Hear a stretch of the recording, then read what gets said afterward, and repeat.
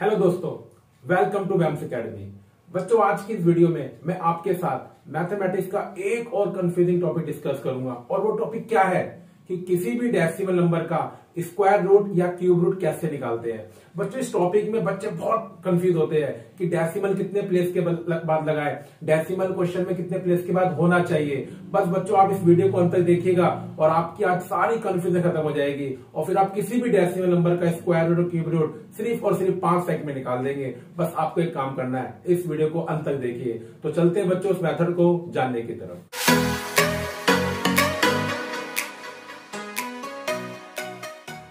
तो देखिए बच्चों, पहले मैं आपको सिखाऊँगा डेसिमल नंबर का स्क्वायर रूट निकालना। देखिए, मैंने क्वेश्चन लिखा है। मुझे किसका स्क्वायर रूट निकालना है? Zero decimal zero zero zero four का निकालना है। तो आपने करना क्या होता है? जो आप आज तक कर रहे हैं, उसे करना भूल जाइए। हम करते क्या है? हम इसे लिखते हैं फोर अपॉन में टेन थाउज़ेंड उस तरह से करते हैं। वो तरीका लेंथी होता है। तो देखिए, आपको करना क्या है? आप डेसिमल को भूल जाइए।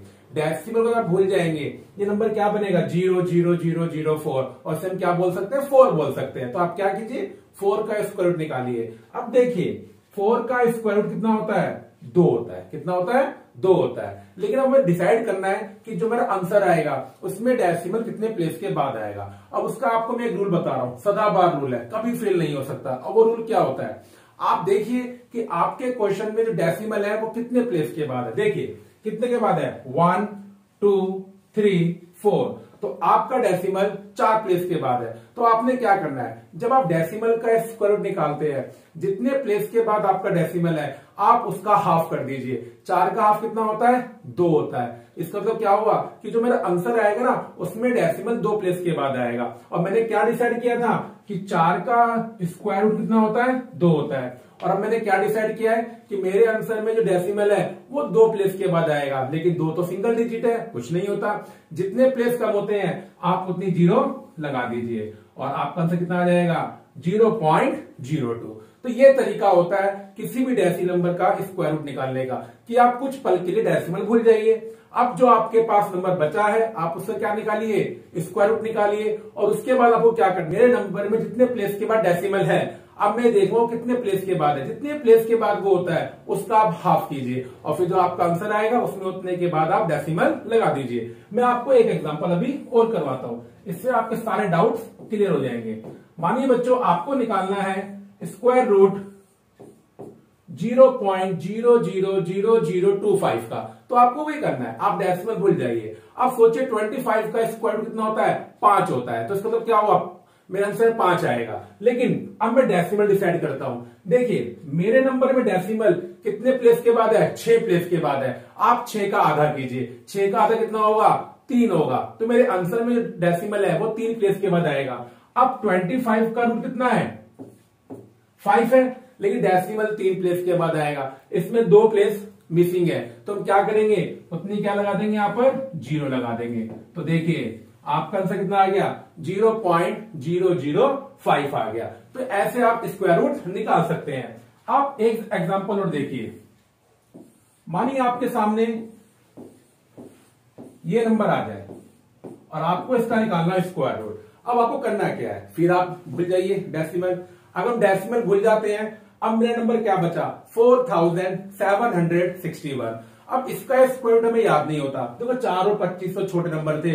चार का स्क्वायर रूट दो होता है, पच्चीस का पाँच होता है। अब इसका स्क्वायर रूट होता है सिक्सटी नाइन मुझे तो पता है। लेकिन आपको क्या करना है? मैंने स्क्वायर रूट निकालने की वीडियो आपके लिए बना रखी है। आप जाइए और उस वीडियो को देखिए। और उस वीडियो को देखने के बाद आप इसका रूट आराम से निकाल देंगे। इसका रूट कितना होता है? सिक्सटी नाइन होता है। अब मेरे क्वेश्चन में डेसिमल है। वो कितने प्लेस के बाद है? चार और आठ। आठ प्लेस के बाद है। तो जो मेरा आंसर आएगा, उसमें डेसिमल किसके बाद आएगा? चार प्लेस के बाद। इसका कितना होता है स्क्वायर रूट सिक्सटी नाइन लेकिन मेरा जो आंसर है, उसमें डेसिमल चार प्लेस के बाद आएगा। तो मैं क्या करूँगा? सिक्सटी में कितने प्लेस है? दो। दो गायब है। तो मैं क्या लगा दूँगा? दो। ज़ीरो लगा दूँगा। तो मेरा आंसर कितना आ गया?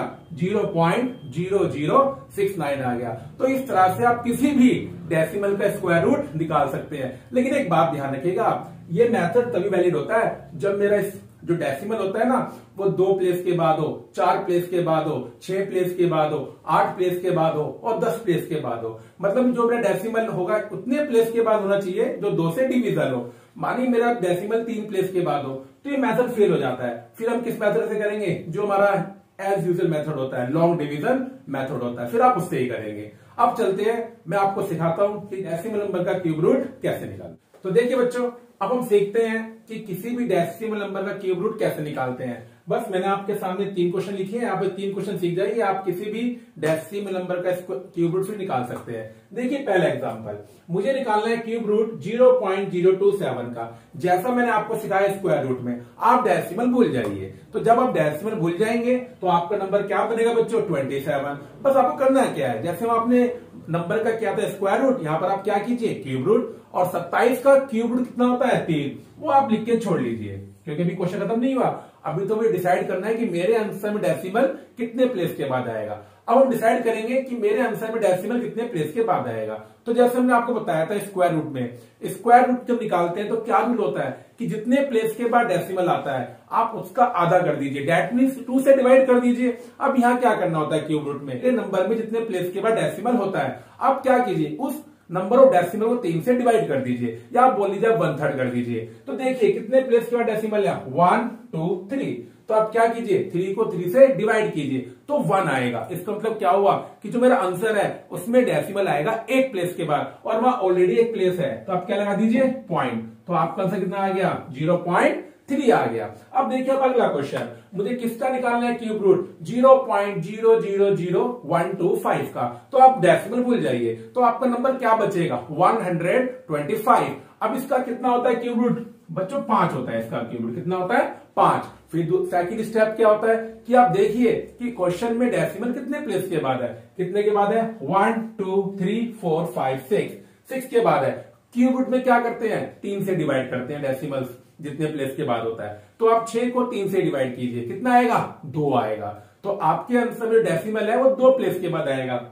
यहाँ पर एक प्लेस तो है तो आप क्या कीजिए?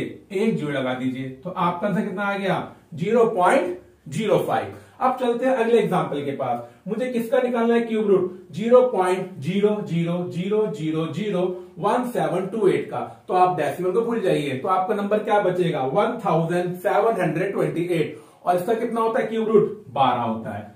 अब हो सकता है आपको इसका क्यूब रूट याद ना हो। याद तो अच्छी बात है। अगर याद नहीं तो आपको क्या करना है? मैंने क्यूब रूट की वीडियो आपके लिए बना रखी है। आप जाइए और उस वीडियो को देखिए। फिर आपको उस वीडियो देखने के बाद इसका क्यूब रूट निकालना आ जाएगा।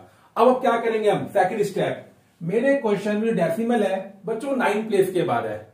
कितने के बाद है? नाइन प्लेस के बाद। अब आप नाइन को तीन से डिवाइड कीजिए। नाइन को तीन से डिवाइड करने के बाद कितना आएगा? तीन आएगा। इसका मतलब क्या हुआ? कि जो मेरा आंसर आएगा, उसमें डेसिमल आएगा तीन प्लेस के बाद। बारह, यहाँ पर दो प्लेस तो आई जो एक कमी है, उसमें क्या लगा दीजिए आप? ज़ीरो तो आपका आंसर कितना आ जाएगा? Zero point zero one two तो देखिए बच्चों, अब मैं आपसे वादा करता हूँ, अगर आपने इस वीडियो को दिल से देखा है तो इस वीडियो को देखने के बाद किसी भी डेसिमल नंबर का स्क्वायर रूट और क्यूब रूट अब आप बड़ी आसानी से निकाल सकते हैं। बस आप क्या कीजिए घर पर, और क्वेश्चंस को प्रैक्टिस कीजिए। अगर बच्चों, आपको मेरी वीडियो अच्छी लगी है तो लाइक करें शेयर करें सब्सक्राइब करें, और हाँ बेल आइकन न दबाना बोले ताकि जो हमारी अगली वीडियो आप आएगी, वो आपको आसानी से मिल सके।